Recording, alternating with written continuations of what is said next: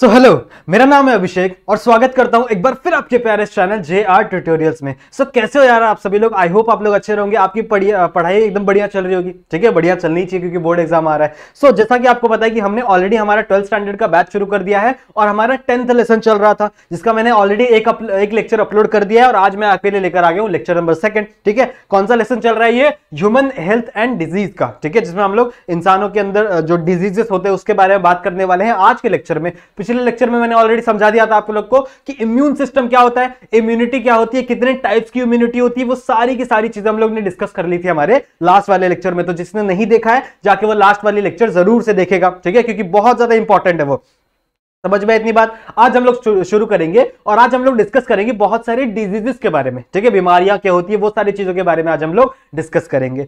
Lecture start करने से पहले आपको छोटी सी चीज़ बताना चाहता हूँ, छोटा सा अनाउंसमेंट है कि हमारा हमारा जो जे आर का एप्लीकेशन है, वो लाइव हो चुका है हमारे प्ले स्टोर के ऊपर। तो अभी तक अगर आपने डाउनलोड नहीं किया है तो जाके फटाक से डाउनलोड कर लेना हमारा एप्लीकेशन जे आर का। फ्यूचर में उसके ऊपर बहुत सारी चीज़ें आने वाली है। ठीक है? बहुत सारे इंटरेस्टिंग इंटरेस्टिंग लेक्चर्स आएँगे, फिर क्विजेस आएँगे, बहुत सारे नोट्स आएँगे।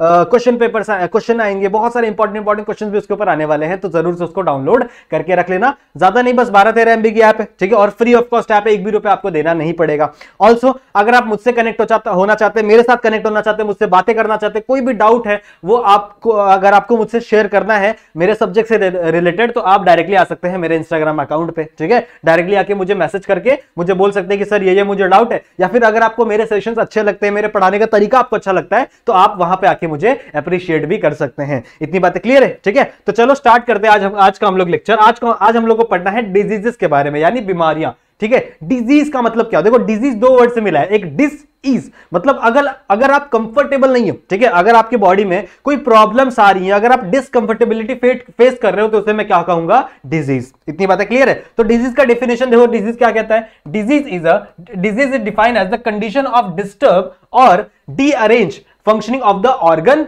and organ system मतलब अगर आपके बॉडी में आपके ऑर्गन या फिर ऑर्गन सिस्टम अच्छे से फ़ंक्शन नहीं कर रहे, ठीक है? या फिर अच्छे से कॉपरेट नहीं कर रहे तो मैं क्या कह सकता हूँ, आप लोग बीमार हो। मतलब आपको कोई ना कोई डिज़ीज़ हो चुकी है। इतनी बातें क्लियर है? ठीक है?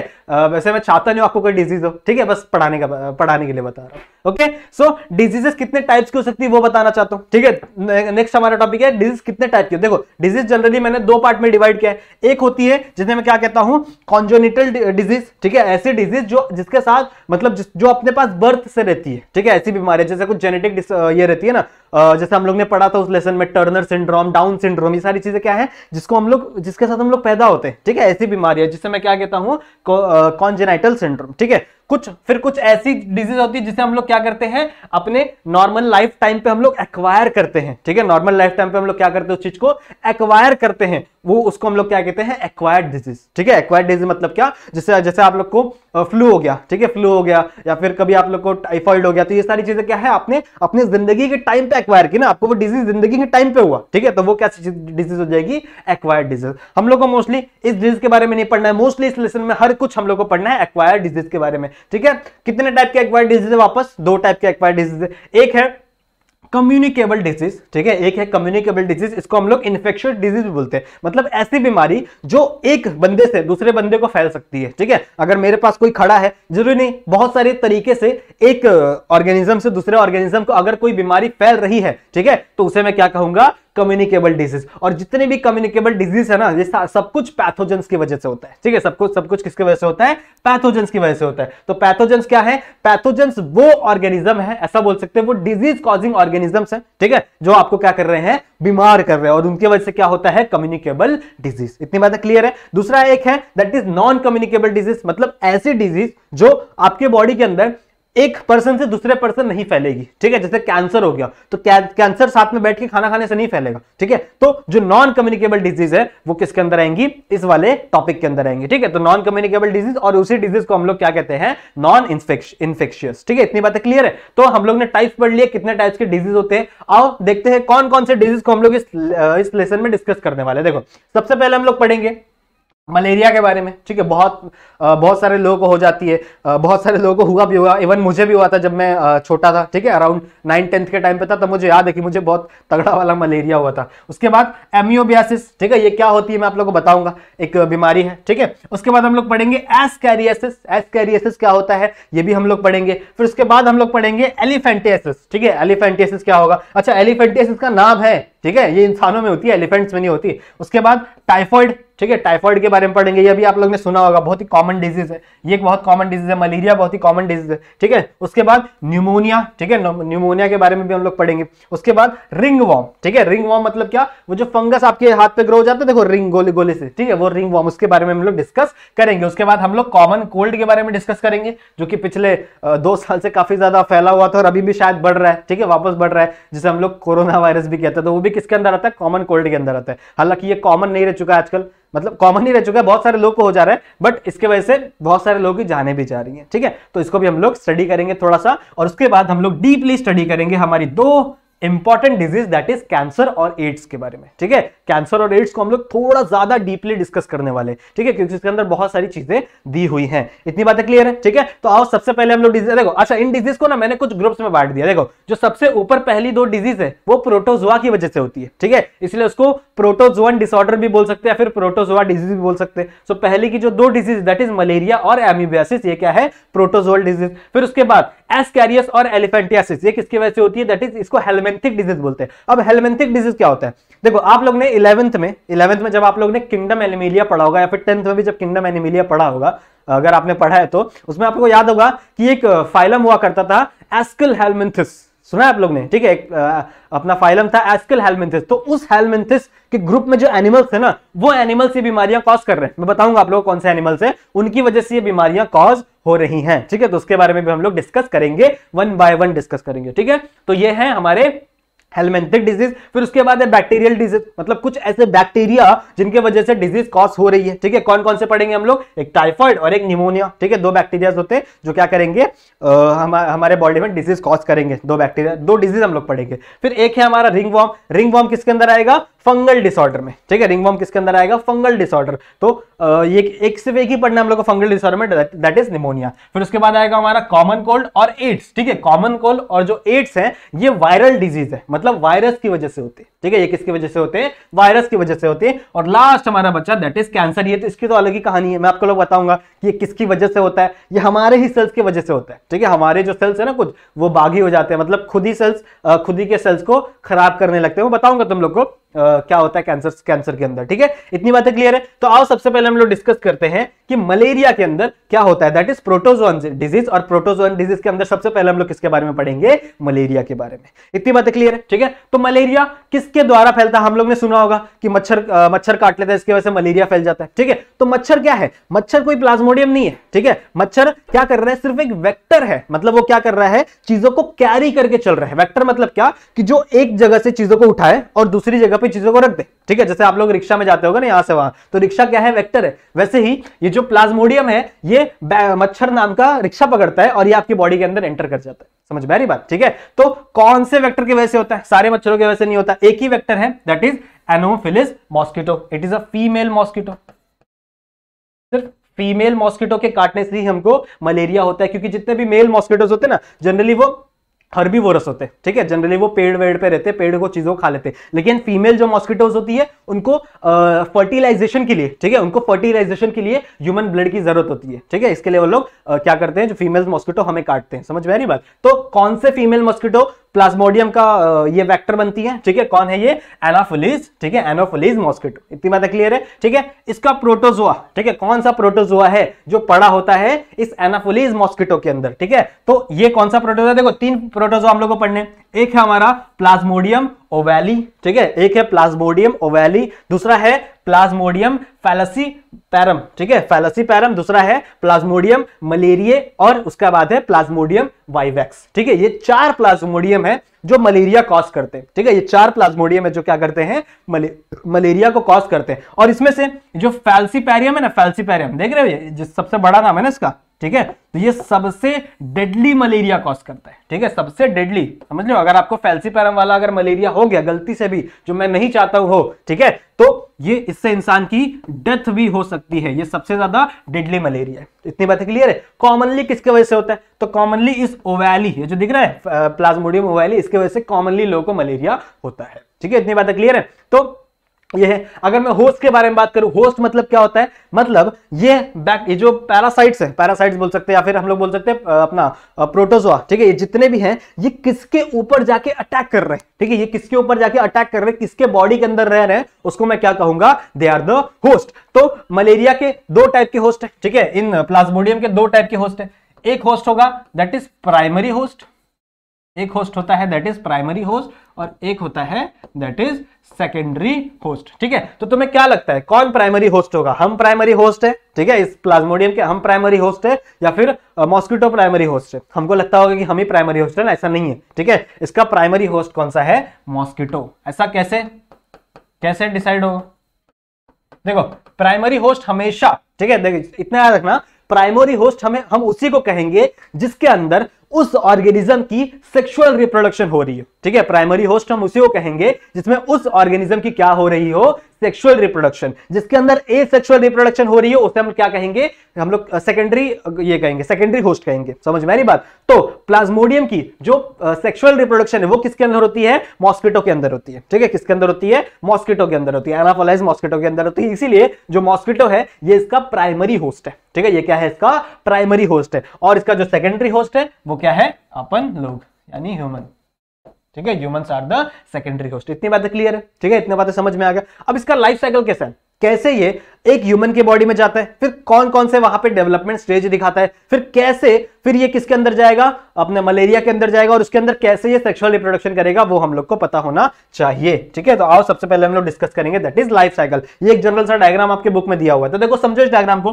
देखो, यहाँ पे एक ये डायग्राम यहाँ से शुरू हो रहा है। ठीक है, कहाँ शुरू हो रहा है ये? यहाँ से शुरू हो रहा है। तो एक मच्छर आया, ठीक है? एक मॉस्किटो आया और उसने आपके स्किन के लेयर पे आपको क्या किया? काट लिया। ठीक है? क्या किया उसने आपको? काट लिया। अब जैसे ही उसने काटा, ठीक है? जैसे ही उसने काटा, उसने कुछ प्लाज्मोडियम के स्पोरोजोइड्स एंटर कर दिए। ठीक है? कुछ ऑर्गेनिजम्स थे ऐसे। यहाँ पे दिख रहे हैं ये सारे। ठीक है? ये दिख रहे हैं ये दीज आर द स्पोरोजोइड्स लिख देता हूँ। दीज आर द स्पोरोजोइड्स इतनी बातें क्लियर है? ठीक है? अब ये स्पोरोजोइड्स सबसे पहले कहा, अब देखो, मैंने आप लोग को लास्ट वाले लेक्चर में समझाया था कि जैसे ये ब्लड में एंटर करेंगे मैक्रोफेजिस और न्यूट्रोफाइल आ जाते हैं इनके लड़ने के लिए, इनके, इनसे लड़ने के लिए फटाफट कौन आ जाता है? मैक्रोफेजिस और न्यूट्रोफाइल्स आ जाएँगे, ठीक है? तो अब देखो, एक एक बात और सुन लो कि ये जो प्लाज्मोडियम के बैक्टीरिया होते हैं, ठीक है? बैक्टीरिया तो नहीं बोल सकते, जो प्लाज्मोडियम के हमारे प्रोटोजोआ होते ये थ्री टाइम फास्टर होते ठीक है? इनका मूवमेंट थ्री टाइम फास्टर होता है किससे? हमारे मैक्रोफेजेस से, ठीक है? जो मैक्रोफेजेस थे ना मैक्रोफेजेस न्यूट्रोफिल्स उनसे थ्री टाइम फास्टर होता है। मतलब ये उनसे तीन गुना ज़्यादा तेज़ी से भाग सकते हैं और रिप्रोडक्शन कर सकते हैं। लेकिन ये डायरेक्टली ब्लड में नहीं रहते, ठीक है? ये ब्लड में नहीं रहते, ये घुस जाते हैं किसके अंदर? लिवर के अंदर, ठीक है? ये किसके अंदर घुस जाते हैं? लिवर के अंदर। यहाँ पे तुम लोगों में डायग्राम बनाकर समझाता देखो, सबसे पहले एक मॉस्किटो आया, ठीक है? उसने आपके स्किन पे काटा, ठीक है? और वहाँ पे क्या एंटर हो गया आपका? आपके ब्लड के अंदर, ठीक है? किसके अंदर एंटर हो गया? आपके ब्लड के अंदर स्पोरोजोइड एंटर हो गया। So for example this is your blood ठीक है? और आपके ब्लड के अंदर क्या एंटर हो गया? स्पोरोजोइड्स ठीक है? दिस इज़ द स्पोरोजोइड इतनी बातें क्लियर है? अब, इस बैक्टीरिया को पता है, इस प्लाज्मोडियम को पता है कि अगर मैं ब्लड में ज़्यादा टाइम तक रहा ठीक है? तो न्यूट्रोफिल्स आ जाएँगे मैक्रोफेजेस आ जाएँगे और मुझे मारना चालू कर देंगे। तो ये किसके अंदर घुस जाता है? लिवर के अंदर। ठीक है? ये किसके अंदर घुस जाता है? लिवर के अंदर। देखो, ये किसके अंदर सबसे अंदर घुस जाएगा? लिवर के अंदर। अब लिवर्स के सेल को क्या कहते हैं?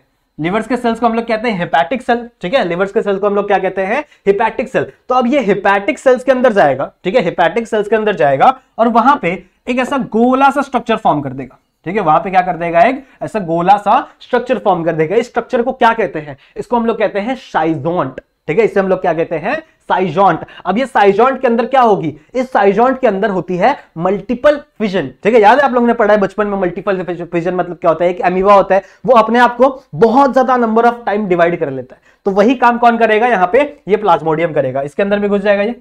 ठीक है, और एक ऐसा गोला सा स्ट्रक्चर फॉर्म करेगा। इस स्ट्रक्चर को मैंने क्या बोला? इसको मैं कहूँगा साइजॉन्ट ठीक है? इतनी बातें क्लियर है? ठीक है, ये क्या बना लेगा? साइजॉन बना लेगा, यहाँ पे दिया है, देखो हाँ। इट इज़ मेच्योर साइजॉन्ट ठीक है? इतनी बातें क्लियर है? अब ये जो साइजॉन्ट है, इसके अंदर क्या होती है? मल्टीपल फिजन ठीक है? इसके अंदर क्या होती है? मल्टीपल फिजन मतलब यहाँ पे ऐसे बहुत सारे छोटे छोटे छोटे, बहुत सारे, यहाँ पे कैसे बनाए चलो, इसको मिटा देते हैं। ओके तो यहाँ पे ऐसे बहुत सारे छोटे छोटे छोटे छोटे क्या बन जाएँगे? छोटे छोटे प्लाज्मोडियम बन जाएँगे, क्योंकि इसने क्या किया है? मल्टीपल फिजन इन छोटे छोटे सेल्स को हम लोग कहते हैं मेरोजॉइड्स ठीक है? इन्हें हम लोग क्या कहते हैं? मेरोजॉइड्स समझ में आ रहा है? ठीक है? समझ में आ रहा है क्या हुआ यहाँ पे? इसकी लाइफ साइकिल हम लोग पढ़ रहे हैं। तो लाइफ साइकिल में सबसे पहले क्या हुआ था? एक मॉस्किटो आया, ठीक है? और उसने क्या किया? तुम्हें काट लिया। ठीक है? तुम्हें क्या कर लिया? काट लिया। जैसे तुम्हें काटा, उसने क्या किया? स्पोरोजॉइड्स किसके स्पोरोजॉइड्स प्लाज्मोडियम के स्पोरोजॉइड्स क्या कर दिए? एंटर कर दिया आपके बॉडी के अंदर। अब वो जैसे ही स्पोरोजॉइड्स आपके बॉडी के अंदर एंटर हुए, ठीक है? वो अगर ब्लड में ज़्यादा देर तक रहते तो उसके ऊपर कौन अटैक करता? न्यूट्रोफिल्स आ जाते, ठीक है? उसके ऊपर कौन अटैक करता? न्यूट्रोफिल्स आ जाते और मैक्रोफेजेस आ जाते। और वो उसके ऊपर क्या करने लगते? अटैक करने लगते, ठीक है? न्यूट्रोफिल उसके ऊपर क्या करने अटैक करने लगते तो भैया दिमाग लगाता है और ये किसके अंदर घुस जाता है? आपके लिवर्स के अंदर। और लिवर्स के अंदर क्या पड़े होते हैं हेपैटिक सेल ठीक है? हेपैटिक सेल लिवर के सेल्स को बोला जाता है। These are the hepatic cell लिख दें यहाँ पे, ठीक है? These are the hepatic cell और हेपैटिक सेल के अंदर ऐसा गोला गोला सा स्ट्रक्चर फॉर्म करने लगता है, जिसे हम लोग क्या कहते हैं? साइजॉन्ट ठीक है? जिसे हम लोग क्या कहते हैं? साइजॉन्ट तो इसको मैं यहाँ मूव कर दूँ।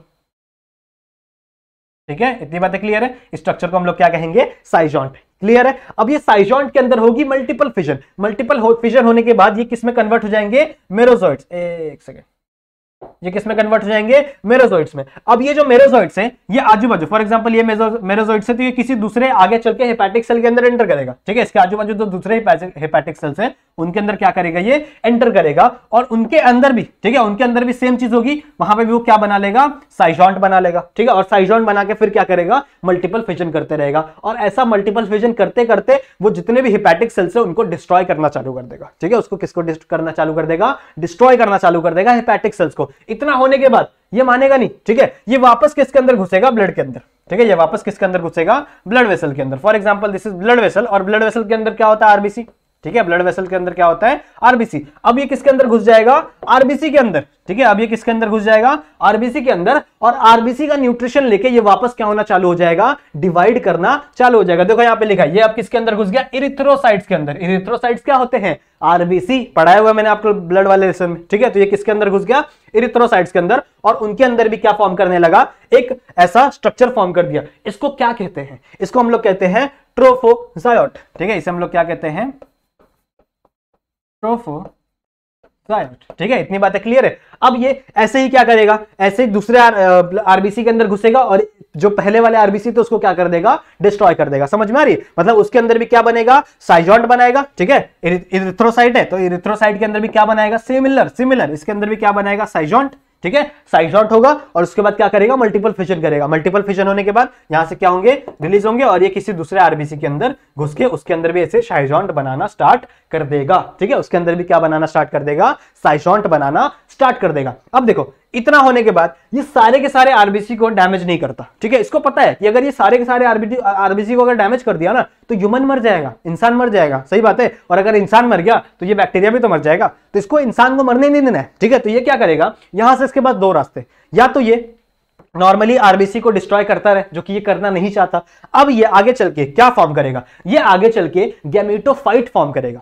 आगे चले क्या फॉर्म करेगा? गैमिटोफाइट फॉर्म करेगा। देखो, मैंने आप लोगों को बताया था कि जो ह्यूमन है, ये इसका सेकेंडरी होस्ट है। सेकेंडरी होस्ट क्यों है? क्योंकि इसके अंदर ये एसेक्सुअल रिप्रोडक्शन कर रहा है। देख रहे हो आप लोग? ये क्या कर रहा है यहाँ पे? मल्टीपल फ्यूजन कर रहा है। मल्टीपल फ्यूजन क्या होता है? एसेक्सुअल रिप्रोडक्शन अब इसके बाद इसको अगर सेक्सुअल रिप्रोडक्शन करना है तो इसको क्या बनाना पड़ेगा? गैमेट बनाना पड़ेगा। गैमेट जो बनाता है, उसे हम लोग क्या कहते हैं? गैमिटोफाइट ठीक है? तो ह्यूमन सेल्स के अंदर, ठीक है? ह्यूमन सेल्स के अंदर क्या बन जाता है? गैमिटोफाइट बन जाता है, लेकिन गैमेट नहीं बनता, ठीक है? ह्यूमन सेल्स के अंदर गैमिटोफाइट बन जाता है, लेकिन कभी भी गैमेट नहीं बनता। इतनी बातें क्लियर है, ठीक है? तो इसके आगे, यहाँ से एक मेल गैमिटोफाइट और एक फीमेल गैमिटोफाइट ठीक है? यहाँ से क्या बन जाएगा? ध्यान दो। यहाँ से मेल एंड फीमेल गैमिटोफाइट समझा इतना? ठीक है, एक मेल और एक फीमेल गैमिटोफाइट यहाँ पे बन जाएगा। समझा? ठीक है क्लियर है? इतना समझा? ओके अब देखो, ये गैमिटोफाइट अब इसके अंदर ये नहीं हो सकता, ठीक है? मेटिंग नहीं हो सकती इन गैमेटोफाइट की। तो अब इनको वापस जाना पड़ेगा किसके अंदर? मॉस्किटो के अंदर, ठीक है? किसके अंदर जाना पड़ेगा? मॉस्किटो के अंदर। तो अब ये वापस चला जाएगा ब्लड के अंदर और ब्लड पे वापस के, किसके पास चला जाएगा? स्किन के पास। अब इस स्किन के पास अगर इसको कोई दूसरा मॉस्किटो काटता है यहाँ से अगर इसको कोई दूसरा मॉस्किटो अगर काटता है तो ये जितने भी मेल गैमेट और फीमेल गैमेट्स है ठीक है? जितने भी मेल गैमेट्स हैं और फीमेल गैमेट्स है ये वापस किसके अंदर चले जाएँगे? इस मॉस्किटो के अंदर चले जाएँगे और मॉस्किटो की गट के अंदर ठीक है? मॉस्किटो की गट के अंदर। For example this is the mosquito की गट। ठीक है? तो उसके अंदर ये male gamete male gametophyte female gametophyte आगे चले क्या बनाएँगे? गैमेट्स बनाएँगे। ठीक है? ये गैमेटोफाइट थे ना? तो आगे चले क्या बनाएँगे? मेल गैमेट ये एक मेल गैमेट बनाएगा, यहाँ पे एक फीमेल गैमेट बनाएँगे, दोनों क्या मिल जाएँगे? दोनों मिलकर क्या बना देंगे? एक नया ऑर्गेनिज्म बना देंगे, और ये वापस नया ऑर्गेनिज्म चला जाएगा इसी माइक्रो इसी मॉस्किटो की सलाइवरी ग्लैंड में। किसके अंदर चला जाएगा वापस? सलाई सलाइवरी ग्लैंड में। सही बात है। और वही सलाइवरी ग्लैंड से जब वो मॉस्किटो आपको वापस काटेगा तो ये वापस स्पोरोजॉइट्स ठीक है, ये बने स्पोरोजॉइट्स ये वापस स्पोरोजॉइट्स किसके अंदर चले गए? ये वापस स्पोरोजॉइट्स चले गए सलाइवरी ग्लैंड में। अब जैसे ही कोई ये मॉस्किटो आपको वापस काटेगा तो ये ये स्पोरोजॉइट से वापस आपके ब्लड के अंदर घुसेंगे और ये प्रोसेस वापस चलने लगेगी। इतनी बातें क्लियर है? इस डायग्राम को देख लो। इस डायग्राम में भी वही सब दिखाया हुआ है, ठीक है? थोड़े अच्छे तरीके से दिखाया मैंने थोड़ा सा खिचड़ी पका दिया। लेकिन यहाँ पे थोड़ा सा अच्छे से दिखाया हुआ देखो, सबसे पहले क्या आया? आपका स्पोरोजॉइड जो मेंशन नहीं किया हुआ यहाँ पे। दीज आर ये जो लाइन लाइन दिख रहे हैं ये क्या है? स्पोरोजॉइड से मैंने मेंशन कर दिया। फिर ये स्पोरोजॉइड किसमें घूमते हैं आपके? हिपैटिक सेल में घूमते हैं। ठीक है? कौन घुसता कहाँ पे घुसते हैं लोग? हिपैटिक सेल हिपैटिक सेल मतलब क्या? लिवर के अंदर। ये लोग लिवर को डिस्ट्रॉय करते हैं। ठीक है? समझ में आ रही बात? उसके बाद फिर ये किस पे घूमते हैं? किस, में घुसते हैं? इरिथ्रोसाइट्स में। देखो यहाँ पे साइजॉन्ट बनाते हैं। साइजॉन्ट बनाने के बाद देखो मल्टीपल फिजन करके क्या बनाएँगे? मोनोजॉइड्स ठीक है? और उसके बाद क्या बनाएँगे ये लोग? उसके बाद फिर किसमें घुसेंगे ये लोग? इरिथ्रोसाइट्स में। ठीक है? इरिथ्रोसाइट्स पे अंदर घुसने के बाद क्या बनाएँगे ये लोग? ट्रोफोसाइट्स इतनी बातें क्लियर है? ट्रोफोसाइट्स बनाने के बाद, यहाँ पे देखो, यहाँ पे एक मेल गैमेटोफाइट और एक फीमेल गैमेटोफाइट दिख रहा है। ये मेल का ऑप्शन दिख रहा है और ये फीमेल का। This are the gametocyst gametocyst बोल लो या गैमेटोफाइट बोल लो। मतलब वो आगे चले क्या बनाएँगे? गैमीट बनाने वाले और गैमीट बनाने वाले सेल्स इतनी बातें क्लियर है? और फिर ये देखो, वापस किसी ने किसी मॉस्किटो ने आपको काटा और ये गैमेटोफाइट वापस किसके अंदर घुस गए? इस मॉस्किटो के अंदर घुस गए। अब इस मॉस्किटो की मिड गट में, ठीक है, इस मॉस्किटो की मिड गट में वापस क्या फॉर्म होंगे? इन जो जितने भी गैमिटोफाइट थे, ये सारे क्या हो जाएँगे? गैमिट बनाएँगे। गैमिट बनाने के बाद वापस क्या फॉर्म हो जाएगा? स्पोरोजॉइड। और ये स्पोरोजॉइड वापस किसके अंदर चला जाएगा? इस saliva, salivary gland of mosquito ठीक है, इस मॉस्किटो के सलाइवरी ग्लैंड में वापस वो एंटर कर जाएगा। समझ में आया लाइफ साइकिल ठीक है सिंपल सा था, कुछ नहीं था। यहाँ से यहाँ से देखो, ये इसके अंदर जो साइकिल चली है, उसमें क्या हो रहा है? ए सेक्सुअल रिप्रोडक्शन और सेक्सुअल रिप्रोडक्शन कहाँ पे हो रहा है? आपके मॉस्किटो के अंदर हो रहा है। इसीलिए, ठीक है, इसीलिए जो मॉस्किटो है it is a primary host ठीक है, जो मॉस्किटो है इज़ अ प्राइमरी होस्ट और आपका सेकेंडरी होस्ट क्या है? हम ह्यूमंस ठीक है humans are the secondary host इतनी बातें समझी, ठीक है? मलेरिया समझ में आ गया। कोई दिक्कत यहाँ तक? कोई नहीं। चलो, आ जाओ, आगे बढ़ते ठीक है? मलेरिया समझ में आ गया। नेक्स्ट जो बीमारी है दैट इज़ एमियोबियासिस ठीक है? एमियोबियासिस नेक्स्ट बीमारी क्या है? आपकी एमियोबियासिस इसके अंदर होता क्या है? देखो, बड़ी सिंपल सी बीमारी है, ठीक है? होता क्या है इसके अंदर? किसकी वजह से होता है? पहले ये देख लो। ये होता है एंटामीबा हिस्टोलियाटा ठीक है? किस, किसके वजह से होता है ये? एंटा अमीबा हिस्टोलियाटा ठीक है? अब ये कैसे हो रहा है? देखो फॉर एग्ज़ाम्पल किसी पर्सन को एमियोबियासिस का इन्फेक्शन है, ठीक है? मतलब उसके बॉडी में पहले से क्या प्रेजेंट है? एंटा अमीबा हिस्टोलियाटा प्रेजेंट है। तो मैं आपको समझाता हूँ कि इसकी लाइफ साइकिल कैसी है। ये कैसे? एक जर, एक ऑर्गेनिज्म के बॉडी से दूसरा ऑर्गेनिज्म में जाएगा। तो for example this is the person जो कि खुश बिल्कुल भी नहीं है, ठीक है? खुश नहीं होना चाहिए इसको। ये दुखी है। क्यों दुखी है? क्योंकि भैया इसको इन्फेक्शन हो चुका है, इसको हो चुका है एमियोबियासिस ठीक है? तो अब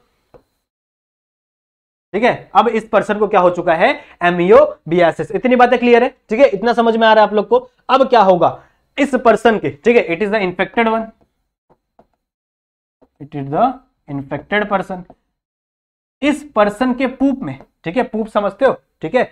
जिसको हम लोग बोलते हैं पॉटी प्यार से प्यार से भाषा में, ठीक है? समझते हो ना? तो इस पर्सन के पूप में, यहाँ पे ठीक है? इस पर्सन के पूप में इस जो बैक्टीरिया है, ठीक है? इस बैक्टीरिया का जो जाइगॉट फॉर्म होगा, ठीक है? इस बैक्टीरिया का जो जाइगॉट फॉर्म होगा, वो इसके अंदर प्रेजेंट रहेगा। समझ रहे हो?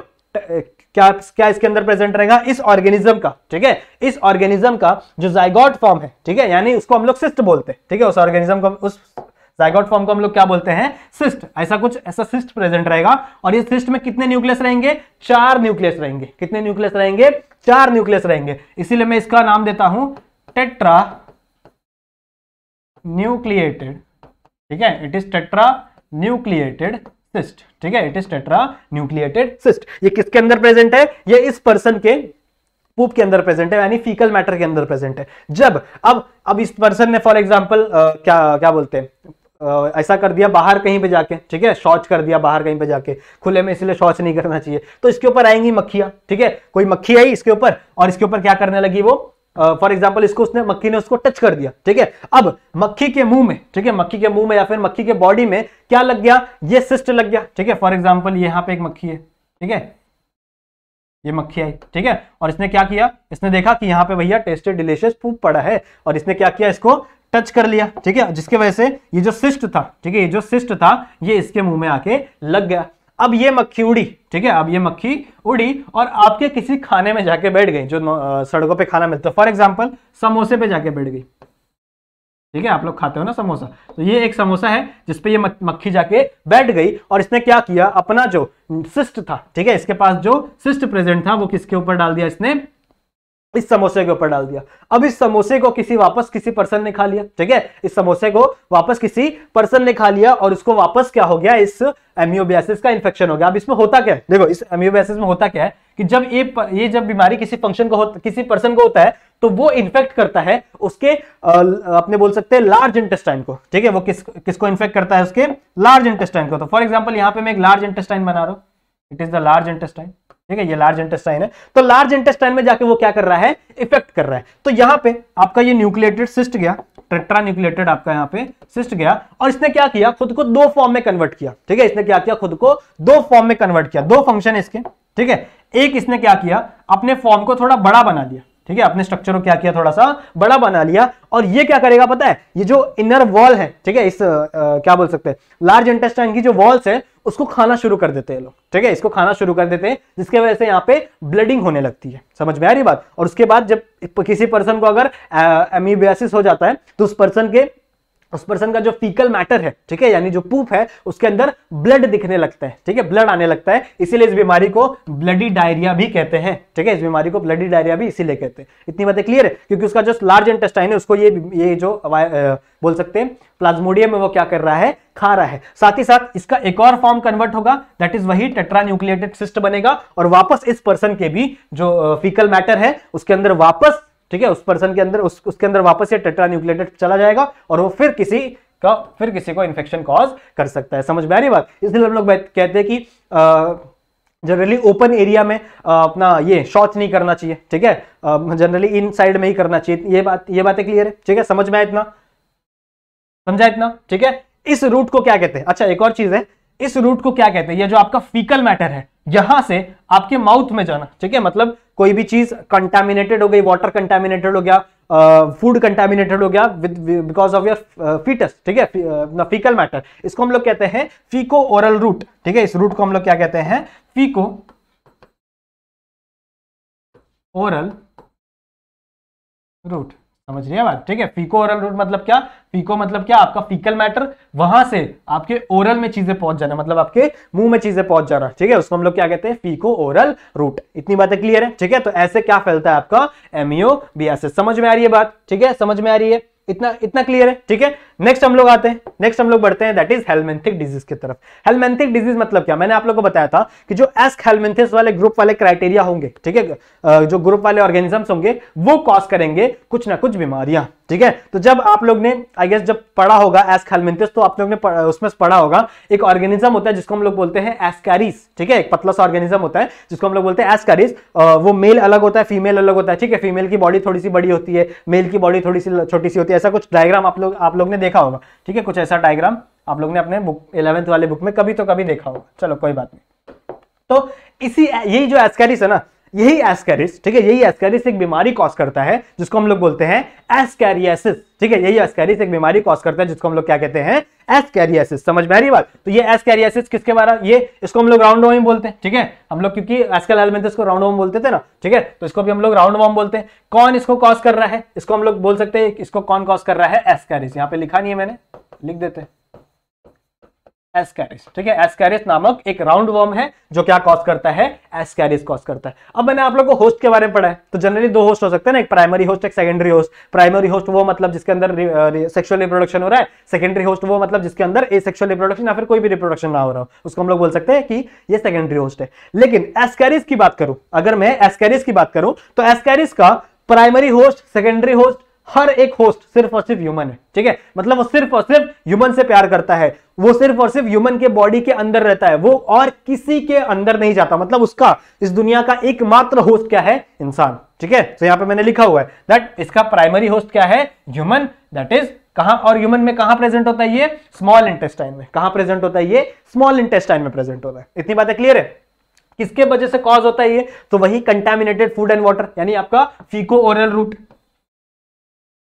faeco oral route ठीक है? आपके फीकल मैटर की वजह से आपका फ़ूड कंटेमिनेट हो गया या फिर आपका जो वाटर है वो कंटामिनेट हो गया तो उसकी वजह से एस्कैरियासिस क्या हो सकता है? एक जगह से दूसरी जगह के बॉडी में फैल सकता है। सेम वैसे ही होता है। इसका भी जो जनरली फीकल मैटर होता है, किसी पर्सन का जो जो एस्कैरियासिस से पीड़ित है, जिसका एस्कैरियासिस हो चुका है, उसके फीटल मैटर में, उसके फीकल मैटर में इसके सिस्ट प्रेजेंट होंगे, ठीक है? तो उसके सिस्ट उसके फीकल मैटर से किसी दूसरी जगह पे क्या होंगे? ट्रैवल होंगे। समझ में आ बात? अब चाहे वाटर कंटेमिनेट हो, चाहे जैसे फ्लड आ गया, ठीक है? फ्लड आ गया तो वाटर क्या हो गया? कंटेमिनेट हो गया। वही वाटर आपके घर पे पीने के लिए आ गया फॉर एन एग्ज़ाम्पल ठीक है? गंदा पानी आ गया आपके घर पे पीने के लिए। फिर आपका जो फ़ूड है, ठीक है? जैसे कोई भी चीज़ थी, वो उड़ उड़ के आपके फ़ूड में चली गई। समझ में आ रही बात? तो उसके वजह से आपका फ़ूड भी कंटेमिनेट हो सकता है। तो contamination of food and water की वजह से ये बीमारी होती है। इतनी बातें क्लियर है? ठीक है? फिर अगर मैं बात करूँ इसके सिम्टम्स की तो इसके सिम्टम्स में क्या होते हैं? ठीक है? नहीं जनरली क्या होता है? देखो, इसके सिम्टम्स में पेयर क्रैम्प्स ठीक है? जनरली क्या होता है, आपकी बॉडी में क्रैम्प्स आने लगते हैं। क्रैम्प्स पता है ना आप लोगों जैसे जिसको हम लोग बोलते हैं नॉर्मली नस चढ़ जाती है, ठीक है? वैसे क्रैम्प्स आने लगते हैं, ठीक है? इंटरनल ब्लीडिंग आपकी बॉडी के अंदर इंटरनल ब्लीडिंग होने लगती है। क्योंकि ये जो होते हैं ना, ये इंटेस्टाइन के बॉडी के अंदर, आपकी जो इंटेस्टाइन की वॉल होती है ना, उसके दीवार में से अपना सर सर अपना जो है ना घुसा के रखे रहते हैं, ताकि ये गिर ना जाए। इनके इनके सर के ऊपर ना हुक्स लगे रहते हैं, अगर आप लोग ने पढ़ा होगा तो शायद। इनके ऊपर हुक्स लगे रहते हैं, ये हुक्स के द्वारा वहाँ पे होल्ड हुए रहते हैं, ठीक है? इतनी बातें क्लियर है? और कभी कभी ऐसे एक्सट्रीम केसेस में ये लोग क्या कर देते हैं? स्मॉल इंटेस्टाइन को ब्लॉक तक कर देते हैं। मतलब इनका जो संख्या है, इनकी जो पॉपुलेशन है वो इतनी बढ़ जाती है स्मॉल इंटेस्टाइन में अगर आप मेडिसिन नहीं लोगे कि ये आपकी इंटेस्टाइन को ब्लॉक कर देंगे एकदम से। और कभी कभी कुछ केसेस में आपकी इंटेस्टाइन बर्स्ट हो जाती है मतलब फट जाती है। समझ में आ रही बात? इतना इनका पॉपुलेशन हो जाता है। ठीक है? तो यहाँ पे हमारा क्या खत्म होता है? दैट इज़ एस्केरियसिस अगर मैं नेक्स्ट बात करूँ नेक्स्ट क्या है हमारा? एलिफेंटियासिस जैसे मैंने आप लोगों को बोला था कि एलिफेंट के अंदर नहीं हो रही है, इंसानों के अंदर ही हो रही है। तो होता क्या है? जनरली आपके इंसान इंसान जो होते हैं ना, उसकी जो लोअर लोअर बॉडी पार्ट होते हैं, वो क्या हो जाते हैं? जनरली फूल जाते हैं, ठीक है? उसकी साइज़ बड़ी हो जाती है। बिकॉज़ ऑफ़ एक बैक्टीरिया ठीक है? बैक्टीरिया तो हम लोग नहीं बोल सकते। इट इज़ हेलमेंथिस जिसका नाम है वुचरेरिया बैनक्रॉफ्टी ठीक है? जिसका नाम क्या है? वुचरेरिया ब्रैनकॉफ्टी और एक और होता है दैट इज़ वुचरेरिया मलाई ठीक है? वुचरेरिया बैनकॉफ्टी और वुचरेरिया मलाई तो ये फैलता कैसे? देखो, मैं आप लोगों को बताता हूँ।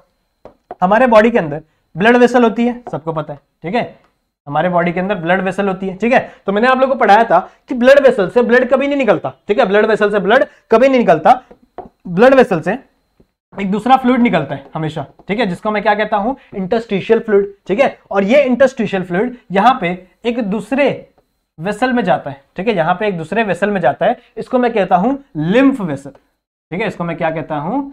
लिम्फ वेसल, समझ में आ रही बात? तो ये जो जनरली कहा जाता है, लिम्फ वेसल में जाता है, और ये लिम्फ वेसल भी आगे चल किसमें कन्वर्ट किसमें कनेक्टेड रहती है? आपकी ब्लड वेसल में कनेक्टेड रहती है। मतलब जो जो इंटरस्टिशियल फ्लूड है, जो ब्लड से निकल रहा है लिम्फ में जा रहा है लिम्फ वेसल में जा रहा है वापस किसके अंदर चला जाता है? आपके ब्लड वेसल में चला जाता है। इतनी बातें क्लियर है? अब ये वुचरेरिया बैन क्रॉफ्टी क्या करता है? देखो, ये आता है और इस पोजीशन को ब्लॉक कर देता है, ठीक है? इस पोजीशन को क्या कर देता है? ब्लॉक कर देता है। मतलब ये जाके ब्लॉक करता है लिम्फेटिक वेसल्स को। किसको ब्लॉक करता है? ये लिम्फेटिक वेसल्स को। इतनी बातें क्लियर है? लिम्फेटिक वेसल्स को ब्लॉक कर देगा। आप देखो यहाँ से आपका इंटरस्टिशियल फ्लूड आ तो रहा है, ठीक है? आपका इंटरस्टिशियल फ्लूड इसके अंदर आ तो रहा है, लेकिन ये वापस बैक नहीं जा रहा, ठीक है? ये वापस बैक नहीं जा पा रहा, समझ में आ रही बात? मतलब ये जो लिम्फ वेसल है क्या हो जाएगी? धीरे धीरे स्वालन हो जाएगी, फूल जाएगी, जिसके वजह से नॉर्मली पर्सन को जिसको विचरेरिया हो जाता है, जिसको फेलियरेसिस हो जाता है, ठीक है? फ्लैरिसिस हो जाता है, उसको उसका जो लोअर अपडोमिनल वाला एरिया है, ठीक है? मतलब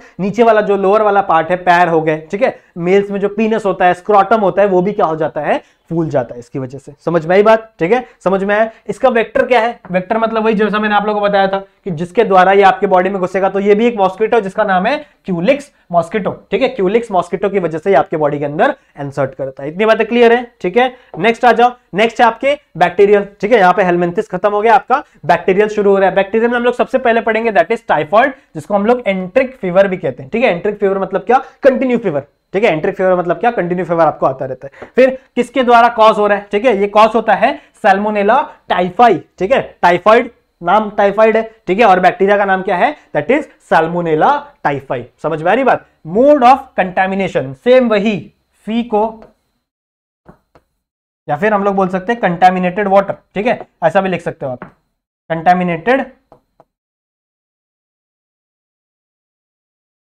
contaminated water and food ठीक है कंटामिनेटेड वाटर एंड फ़ूड समझ में इतनी बात? ठीक है कंटामिनेटेड वाटर एंड फ़ूड की वजह से ये कंटामिनेशन होता है। ठीक है, इतनी बातें क्लियर है? अगर मैं सिम्टम्स की बात करूँ तो सिम्टम्स कौन से होते हैं? दैट इज़ सस्टेन्ड फीवर ठीक है सस्टेन्ड फीवर मतलब क्या आपको कंटिन्यू फीवर आता रहेगा। ठीक है, फिर किसी किसी बहुत ही, हम लोग ऐसा बोल सकते हैं, बहुत ही सीवियर केस के अंदर इंटेस्टाइनल परफोरेशन देखने मिलता है। परफोरेशन मतलब क्या? छेद हो जाता है इंटेस्टाइन के अंदर।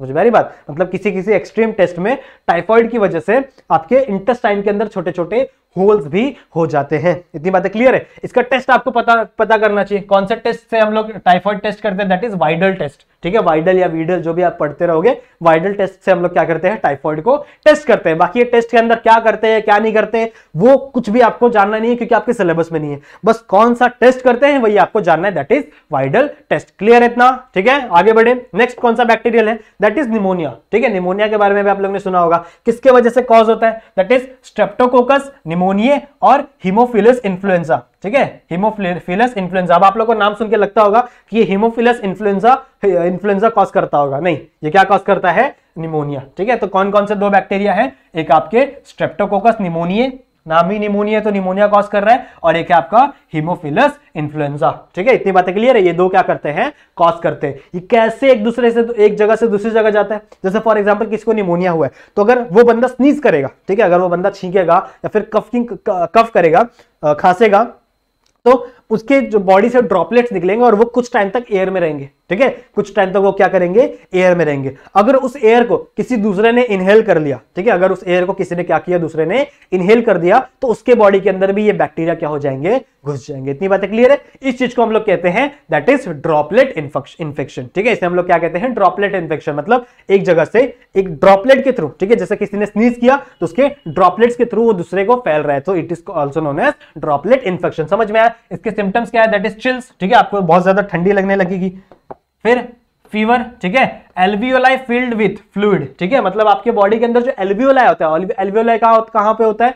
लंग्स के अंदर होता है, ठीक है? लंग्स के अंदर जो छोटे छोटे पैकेट्स होते हैं ना, उसको हम लोग एल्वियोलाई कहते हैं, जो आपका जनरली ऑक्सीजन को स्टोर करते हैं और यहाँ से वहाँ ट्रांसफ़र करते हैं ऑक्सीजन को, ठीक है? तो अब आपके इस निमोनिया के अंदर जो एल्वियोलाई होते हैं ना, उसके अंदर फ्लूड भर जाता है, ठीक है? पानी भर जाता है, जिसकी वजह से आपके बॉडी के अंदर ऑक्सीजन की कमी देखने मिलती है। और ऑक्सीजन की कमी की वजह से आपके जो उंगलियाँ होती है ना, ये इसका कलर या तो ब्लू होने लगता है या फिर ग्रेइश होने लगता है। ठीक है, इसका कलर या और आपके लिप्स का कलर ग्रे होने लगता है या फिर ब्लूइश होने लगता है। वो भी मैंने यहाँ पे लिखा हुआ दैट इज़ ब्लूइश और greyish of the lips and nail ये सारे क्या है? ये डेफिशिएंसी ऑफ़ ऑक्सीजन के सिम्टम है। मतलब आपके बॉडी के अंदर ऑक्सीजन की कमी हो रही है तो आपको ब्लूइश और ग्रेइश आपके लिप्स और नेल्स देखने के लिए मिलेंगे। समझा इतना? ठीक है निमोनिया समझा। नेक्स्ट हम लोग पढ़ेंगे। That is fungal infection fungal infection में हम लोग एक ही पढ़ना है दैट इज़ रिंग वॉर्म ठीक है? रिंग वॉर्म को राउंड वॉर्म से कंफ्यूज मत करना राउंड वॉर्म अलग है, ठीक है? राउंड वॉर्म हम लोग ने पढ़ा था ना, अभी हेलमेंथिक डिज़ीज़ में। ये क्या है? रिंग वॉम ठीक है? रिंग वॉर्म आपने देखा होगा, जैसे बचपन, अभी ऐड आती थी ना बचपन में, ठीक है? बोलता था एड आती थी कि ये मजबूर है, पर आप नहीं। रिंग गार्ड लगाओ खुजली भगाओ ऐसा कुछ आता था ना? सो so, वो किसकी वजह से होता था? बिकॉज़ ऑफ़ दिस फंगस एक फंगस है जो आपकी बॉडी के अंदर ग्रो हो जाता है और वो रिंग शेप का होता है। ठीक है? वो किस शेप का होता है? रिंग शेप का होता है। इसीलिए इसको हम लोग क्या कहते हैं? रिंग वॉर्म ठीक है? कीड़ा है जो रिंग शेप में आ गया है या फिर इसको हम लोग that is fungus form ring ये रिंग जैसा स्ट्रक्चर फॉर्म कर देता है। कौन कौन से फंगस की वजह से होता है? तो तीन टाइप के हैं। एक होते हैं एपिडर्मेटोफाइटन ठीक है? एक है एपिडर्मेटोफाइटन एक है ट्राइकोफाइटन और एक है आपके माइक्रोस्पोरम, ठीक है? तीन है, एक है एपिडर्मेटोफाइटन एक है आपके ट्रोपोफाइटन ठीक है? सॉरी सॉरी टाइकोफाइटन और एक है आपके माइक्रोस्पोरम। इतनी बातें क्लियर है, ठीक है? और इनको हेल्प कौन करता है? ग्रो होने में इनको हेल्प करता है दैट इज़ आपका हीट एंड मॉइस्चर अगर आपके बॉडी के अंदर हीट और मॉइस्चर है, ठीक है? अगर आपकी बॉडी मेनली ज़्यादा टाइम तक ये क्या बोलते हैं मॉइस्ट रहती है, गीली रहती है तो फंगस ग्रो होने के चांसेस ज़्यादा हो जाते हैं। ठीक है, इतनी बातें क्लियर है? समझा? नॉर्मल है, ज़्यादा कुछ नहीं पढ़ना है, आप लोग को बहुत ही छोटे छोटे डिजीजेस है, ठीक है? इतनी बातें क्लियर है? और हमारा नेक्स्ट है that is viral disease viral disease हम लोग स्टार्ट किया फंगल में एक ही था वायरल डिज़ीज़ में दैट इज़ कॉमन कोल्ड ठीक है? जो हम लोग को जनरली सर्दियों के टाइम पे हो जाता है, जिसके वजह से हमको छींग आने लगती है कफिंग आने लगती है कॉमन कोल्ड ठीक है? तो ये किसकी वजह से होता है? वायरस की वजह से होता है वायरस की वजह से होता है। कौन सा वायरस है? दैट इज़ राइनो वायरस कौन सा वायरस है? राइनो वायरस आज के टाइम पे या पिछले दो साल से जो अपना कोरोना वायरस फैला हुआ है ना, ठीक है, वो भी इसी का पार्ट है। तो इसको हम लोग ब्रैकेट में यहाँ पे कोरोना वायरस भी लिख सकते हो। समझ रहे हो? ठीक है? समझ रहे हो? तो कोरोना वायरस भी इसी राइनो वायरस का ही एक टाइप है। समझ में आ रही बात? और ये राइनो वायरस से क्या होता है आपको? कॉमन कोल्ड जनरली ये तीन से सात दिन तक चलता है। ठीक है? जनरली कितने दिन तक चल रहा है? तीन से सात दिन तक अपने आप होता है और अपने आप ठीक ही हो जाता है। इसकी जनरली कोई दवा नहीं बनी है। ठीक है? लो, लोग जनरली सर दर्द की दवा खाते हैं लेकिन आपको जो स्नीजिंग होती है कफिंग होती है इसका जनरली कोई दवा नहीं है। ये जनरली कहाँ इन्फेक्ट करता है आपके? अपर रेस्पिरेटरी ट्रैक पे। ठीक है? कहाँ इन्फेक्ट कर रहा है आपके? अपर रेस्पिरेटरी ट्रैक पे जो आपका अपर रेस्पिरेटरी ट्रैक है इज़ ये ट्रैकिया हो गया, ठीक है? ट्रैकिया हो गया, अपने, आपके लायरिंग्स हो गया उस एरिया को क्या करता है? ये इन्फेक्ट करता है, आपके नोज़ को इन्फेक्ट करता है, वहाँ पे इन्फेक्ट करता है। इसके सिम्टम्स क्या है? दैट इज़ रनी नोज़ ठीक है? आपकी नाक बहने लगेगी runny nose that is cough आपको कफ हो जाएगा रेड आईज ठीक है? आपकी आँखें लाल हो जाएँगी। समझ में आ रही बात? तो ये सारे क्या थे? ये ये क्या थी? कॉमन कोल्ड के सिम्टम्स थे। इतनी बातें क्लियर है। नेक्स्ट हम लोग क्या स्टार्ट करना है? जो हमारा नेक्स्ट टॉपिक है, आ जाओ, वापस देख लो। कौन कौन सी चीज़ें हम लोगों ने डिस्कस कर ली? ठीक है? हम लोग ने मलेरिया को डिस्कस कर लिया मलेरिया को डिस्कस कर लिया एमीबियासिस को डिस्कस कर लिया एक्सकैरिस को डिस्कस कर लिया एलिफेंटियासिस को डिस्कस कर लिया typhoid pneumonia ring warm discuss कर लिया और कॉमन कोल्ड तक डिस्कस डिस्कस कर लिया, ठीक है? नेक्स्ट जो हमारे दो टॉपिक है दैट इज़ कैंसर और एड्स ठीक है? ये थोड़े से बड़े टॉपिक है तो इसको हम लोग किसी नेक्स्ट लेक्चर में कंटिन्यू करेंगे। आई होप आपको आज के इस लेक्चर में ये सारे डिज़ीज़ के बारे में इंफॉर्मेशन मिली होगी, कुछ नया आपने सीखा होगा। इतनी बातें क्लियर है। तो हम लोग नेक्स्ट लेक्चर में स्टार्ट करेंगे हमारा कैंसर और एड्स वाला टॉपिक ठीक है? तो मिलते हैं नेक्स्ट नेक्स्ट लेक्चर में। इस वीडियो को लाइक ज़रूर से कर देना। चैनल को सब्सक्राइब कर दो अगर नहीं किया है तो ठीक है? जल्दी से सब्सक्राइब कर दो और बेल आइकन को भी ऑल पे सेट कर देना क्योंकि जो आने वाले वीडियोस हैं वो आपको मिल सके। इतनी बातें क्लियर है, ठीक है? तो मिलते हैं नेक्स्ट वीडियो में। तब तक के लिए कीप स्टडिंग